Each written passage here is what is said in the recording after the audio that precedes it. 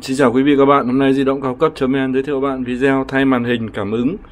Thay màn hình cảm ứng của Lumia 730 Trên tay mình đây là Lumia 730 Khi khách hàng gặp các sự cố liên quan đến màn hình của Lumia 730 bị vỡ, rơi, đó, hỏng màn hình, hỏng cảm ứng cảm ứng chập chờn lúc được lúc không đó, cảm ứng của à, chết một số điểm hoặc trên màn hình đen điểm do rơi va đập. Như trên tay mình đây là một con Lumia 730 bị rơi vỡ màn hình.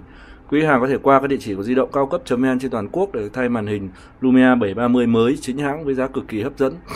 Mọi thông tin về sản phẩm, quý hàng vui lòng liên hệ đường dây nóng 04 66 750 999 hoặc truy cập website www di động cao cấp.vn để biết thêm thông tin chi tiết cũng như uh, báo giá dịch vụ thay màn hình Lumia 730 mới nhất.